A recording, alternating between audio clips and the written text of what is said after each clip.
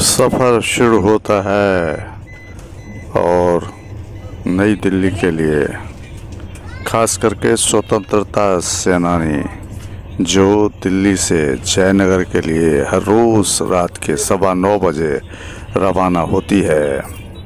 यात्रियों की भीड़ देखने लायक है। अभी समय नहीं हुआ है, पर यात्री स्टेशन पे एक डेढ़ घंटा पहले ही पहुँचने के बाद इंतज़ार कर रहे हैं। कुछ ही देर में यहाँ भीड़ देखने को मिलेगी। कूली भी कह रहा था कि यहाँ बहुत ही भीड़ है। वास्तव में समय अब हो गया है। ट्रेन के आने की ट्रेन तो बिल्कुल समय पर है तो देखने को भीड़ मिलती है। सामान भी। यहाँ की जनता जो दरभंगा, जयनगर जाने वाले हैं कम नहीं ढोते हैं। और बहुत सामान के साथ यात्रा करते हैं। यात्रा में इसकी वजह से बहुत ही मुश्किल भी होता है और लोगों को। बीच में भी कई लोग बिना रिजर्वेशन के एक वर्थ होता है और कई लोग आ जाते हैं। इस ट्रेन की पता नहीं क्या समस्या है। बहुत दयनीय स्थिति है इस ट्रेन की। हाँ इस ट्रेन की जो भीड़ भाड़ है लगता है कि वो कम ट्रेन होने की वजह से या फिर त्यौहार में लोगों का उत्सव मनाने के कारण भीड़ ज़्यादा हो जाया करती है। अब हम आते हैं ट्रेन की स्थिति के बारे में। ट्रेन के आते ही लोग धक्का मुक्की करके किसी तरह यहाँ तक कि एसी कोच में भी ट्रेन में घुसने में बहुत संकट का सामना करना पड़ता है। और ट्रेन पहुँचती है। ट्रेन पहुँचने के बाद अफरा तफरी में लोग अंदर घुसते हैं, सामान उठाते हैं। कैसे भी सामान के साथ घुसते हैं। जिज्ञासा रहती है कि अपना बर्थ जल्दी मिले, ढूँढने के बाद लोग अपनी जगह लेते हैं। संयोग ऐसा होता है कि कुछ ही देर के बाद एसी के कम चलने की वजह से लोगों में बहुत ही दिक्कत महसूस होने लगती है, लोग परेशान होने लगते हैं। कंप्लेन भी होता है, ट्रेन पहुँचने वाली भी होती है, तब तक कंप्लेन का कोई विशेष रूप से ध्यान नहीं दिया जाता है। देखने के बाद देखा जाता है तो बाथरूम का भी पानी बह रहा है, बाथरूम की सफ़ाई नहीं है।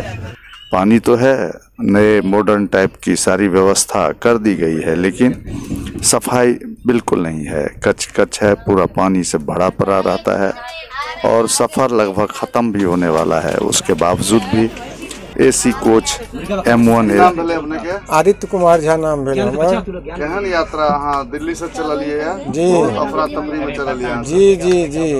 से तऽ देखबे केलिए सर जे स्थिति जे छै छलैए ए सी के टिकट ओ कहल ए सी छै। पाइए टा लागल छै सुविधा नामक कोनो चीज़ नहीं छै एहिमे। भीड़ जे से जनरलसँ बदतर छलैए ए सी चलैटा छै खाली।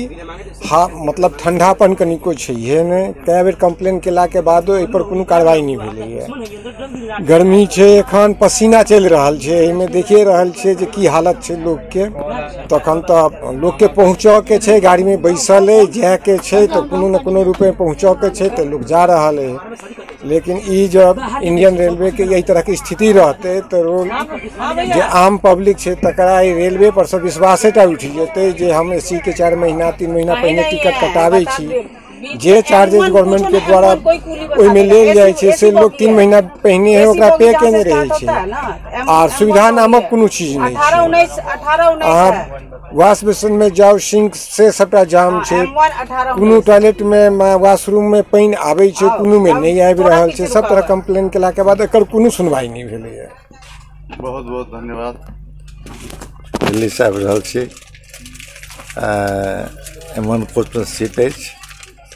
आओर बाद से अखन तक परेशानिए परेशानी रहा है। चढ़ला के बाद तीन चार घंटा तक स्थिति खराब, काफ़ी गर्मी। कोचके अंदरमे चलनाइ मुश्किल। जत आदमी के रिजर्वेशन ओतबी आदमी एक्स्ट्रा घुसल छै कोचमे टी टी सब अपन किस नहीं कऽ रहा या जे कऽ रहल अछि, वएह जाने। पुलिस शांत अछि। बाथरूम में तऽ एक तऽ गेनाइ मुश्किल। आ जब पहुँच ततेक गन्दा छै जे घुसनाइ मुश्किल हैत सब मिला जुला के बहुत खराब यात्रा कंप्लेन के लिए रेलवे ऐप के थ्रू से, ट्वीट से तो जवाब देलक कि अहाँके कंप्लेन पर काज भऽ रहल छै। और ई जवाब के देला, तीन घंटा भऽ गेलै है लेकिन एहिमे कोनो सुधार नहीं। सुना, ये प्रशासन को सुनाने के लिए ये वीडियो बनाया गया है और रेल मंत्रालय इस पे गौर करे, नहीं तो और भी दयनीय स्थिति बढ़ती जाएगी। और सबसे बड़ी बात है कि मैं खुद भी ट्रैवल कर रहा हूँ और मैंने महसूस किया कि स्टाफ भी बहुत बदतमीज़ है। जो स्टाफ है ट्रेन में ट्रैवल कर रहा है जो कोच अटेंडेंट है वो नहीं उपलब्ध है। बहुत सारी समस्याएँ हैं इस पर गौर किया जाए। अत्यंत दुखद।